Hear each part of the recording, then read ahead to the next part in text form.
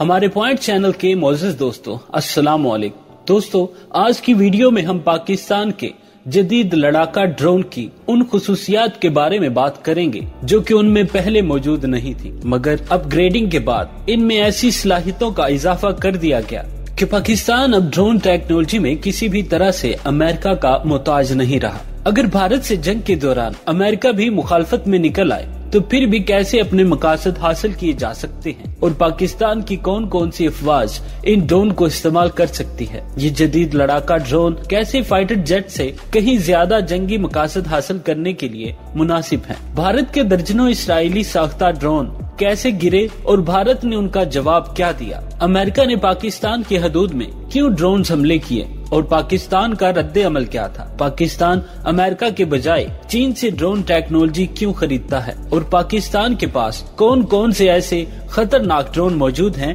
اور پاکستان میں کتنے ادارے ڈرون ٹیکنالوجی پر کام کر رہے ہیں؟ ان سب باتوں کا جواب آج ہم آپ کو اس ویڈیو میں دیں گے۔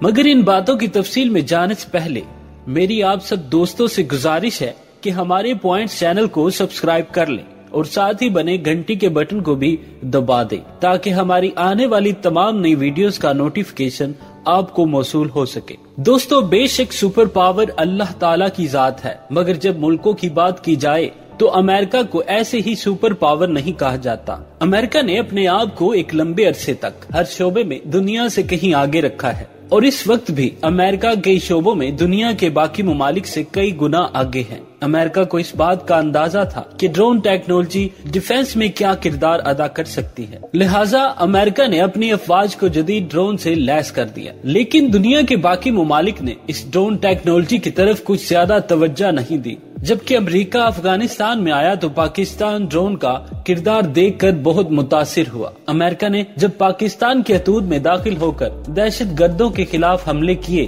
تو پاکستان نے امریکہ سے مطالبہ کیا۔ یہ ڈرون پاکستان کو مہیا کیے جائیں تاکہ پاکستان کی فورسز خود دہشت گردوں کو نشانہ بنا سکے مگر امریکہ نے صاف انکار کر دیا، کیونکہ امریکہ کو اس بات کا خدشہ تھا کہ پاکستان ہماری ڈرون ٹیکنالوجی کسی اور ملک کے حوالے کر سکتا ہے۔ خاص طور پر چین کے۔ دوستوں اس وقت چین بھی ڈرون ٹیکنالوجی پر کام کر رہا تھا مگر اس قدر جدید ٹیکنالوجی چین کے پاس بھی نہیں تھی، جو کہ امریکہ استعمال کر رہا تھا۔ لیکن جب امریکہ نے افغانستان میں آنے کے بعد ڈرون ٹیکنالوجی کا کھل کر استعمال کیا، تو چین کو بھی اندازہ ہو گیا تھا کہ یہ ہتھیار مستقبل میں کس قدر اہمیت اختیار کر جائے گا۔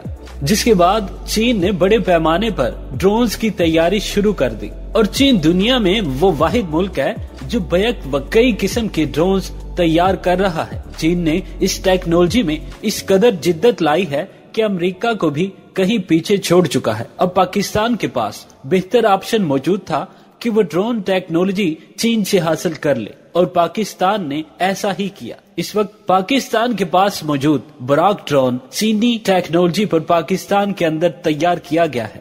اور حال ہی میں پاکستان نے براک ڈرون کا اپ گریڈ ورژن بھی تیار کر لیا ہے۔ جسے مکمل طور پر پاکستان میں ہی تیار کیا گیا ہے۔ پاکستان کو زیادہ اونچائی پر پرواز کرنے والے ڈرونز کی ضرورت تھی، جو کہ مخصوص بلندی پر پرواز کرتے ہوئے انتہائی درستگی کے ساتھ اپنے ٹارگٹ کو نشانہ بنا سکے۔ الحمدللہ، پاکستان کے پاس اب ایک ایسا ڈرون آ چکا ہے جو کہ امریکی ڈرون جیسی ہی ٹیکنالوجی رکھتا ہے۔ یہ ڈرون تقریباً پندرہ ہزار فٹ کی بلندی پر پرواز کرتے ہوئے میزائل داغ سکتا ہے۔ اور اس کی بڑی خوبی یہ ہے، اس ڈرون کو اڑانے کے لیے اب جی پی ایس کی ضرورت بھی نہیں رہی۔ کیونکہ دوران جنگ America G P S system Pakistan کے لیے بند کر سکتا ہے۔ لہٰذا پاکستان کو نیویگیشن سسٹم آف ہونے کا خطرہ بھی اب نہیں رہا۔ دوستو، اس ڈرون کی خصوصیات کی بات کی جائے تو پاکستان کے پاس پہلے موجود ڈرونز ٹارگٹ کو تقریباً آٹھ سے دس کلومیٹر کے فاصلے سے نشانہ بنا سکتے تھے اور زیادہ سے زیادہ دو میزائل لے جانے کی صلاحیت رکھتے تھے۔ تاہم اپ گریڈیشن کے بعد یہ جدید ڈرون لانگ رینج میزائل اور گائیڈڈ بم بھی لے جانے کی صلاحیت رکھتے ہیں اور مکمل لوڈ کے ساتھ یہ مسلسل دس گھنٹے تک پرواز کر سکتا ہے۔ دوستو، اس ڈرون میں نائٹ ویژن نصب ہونے کی وجہ سے رات کی تاریکی میں بھی اسے استعمال کیا جا سکتا ہے، جو کہ راتوں رات دشمن کی تنصیبات کو اڑانے کے بعد چپکے سے واپس آ جائے گا۔ اس ڈرون کو پاکستان سیٹلائٹ کے ذریعے استعمال میں لا سکتا ہے۔ اس وقت پاکستان کی تینوں افواج کو ان جدید ڈرون کی بہت سخت ضرورت ہے۔ پاکستان نیوی اس کی مدد سے دن اور رات میں سمندری حدود سی پیک کے منصوبوں کی نگرانی کر سکتی ہے، جبکہ پاک فضائیہ، وزیرستان اور افغانستان کے ملحقہ علاقوں کی نگرانی اور ٹارگٹس کو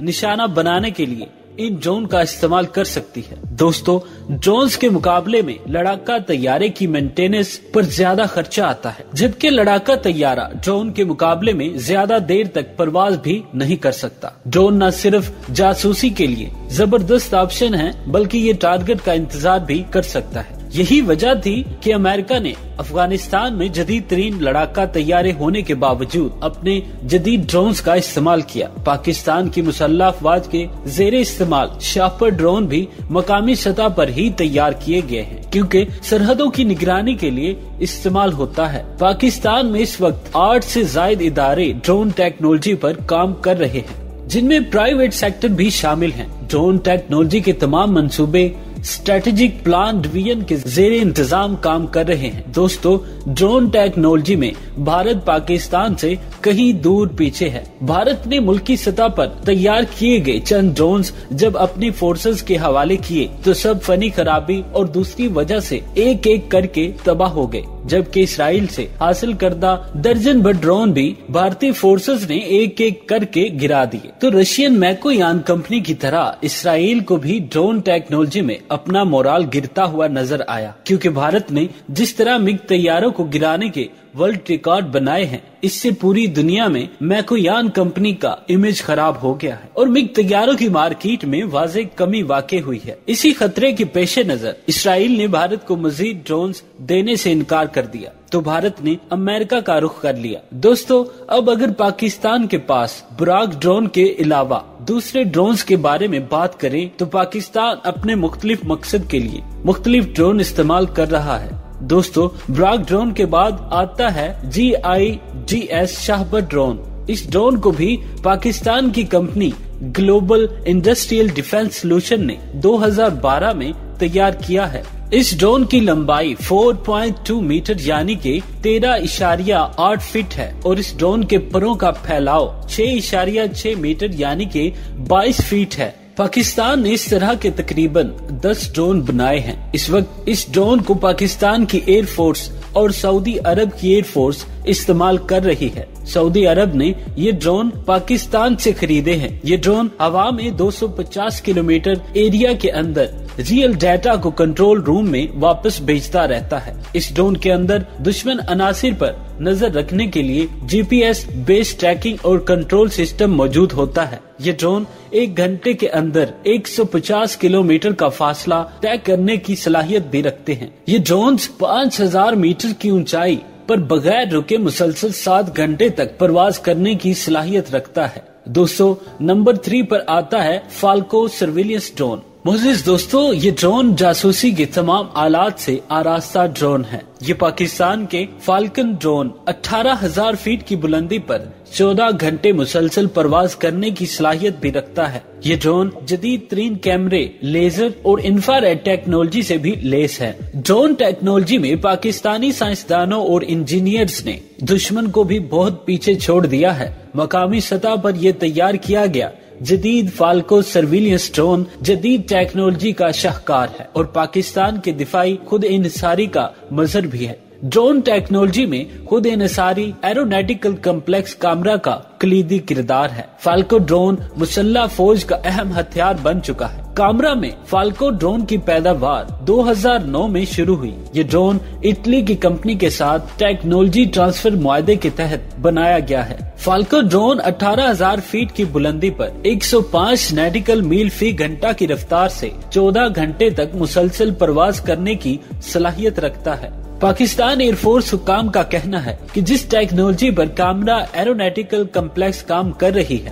یہ دنیا کی چند ہی ممالک کے پاس موجود ہے۔ دو سو نمبر چار پر آتا ہے ستوما ڈرون ناظرین محترم۔ پاکستان نے اس ڈرون کو عام حالات دیا۔ یا کرکٹ کے دوران نگرانی کے لیے بنایا ہے۔ یہ ڈرون ایک گھنٹے کے اندر پچاس کلومیٹر کی سپیڈ سے سفر کرنے کی صلاحیت رکھتا ہے۔ یہ ڈرون بغیر رکے پانچ گھنٹے تک مسلسل پرواز کرنے کی صلاحیت رکھتا ہے۔ یہ ڈرون زیادہ سے زیادہ بیس کلو گرام کا پے لوڈ اٹھا کر پرواز کرنے کی بھی صلاحیت رکھتا ہے۔ اس ڈرون کے اندر ایک معیاری کیمرہ نصب ہوتا ہے۔ جو کہ تین سو ساٹھ ڈگری تک موو کر کے ہائی ریزولیشن ویڈیو بنا کر لائیو فوٹیج کنٹرول روم کو بھیجتا رہتا ہے۔ یہ ڈرون دو ہزار چار میں پاک فضائیہ کے حوالے کیا گیا تھا۔ دوستو، نمبر پانچ پر آتا ہے E M T Luna X two thousand اس ڈرون کو پاکستان نے جرمنی کی کمپنی سے ستائیس جون دو ہزار بارہ کو خریدا تھا۔ یہ ڈرون ایک گھنٹے کے اندر ستر کلو میٹر کی سپیڈ سے سفر کرنے کی صلاحیت رکھتا ہے۔ یہ ڈرون پینتیس سو میٹر کی اونچائی پر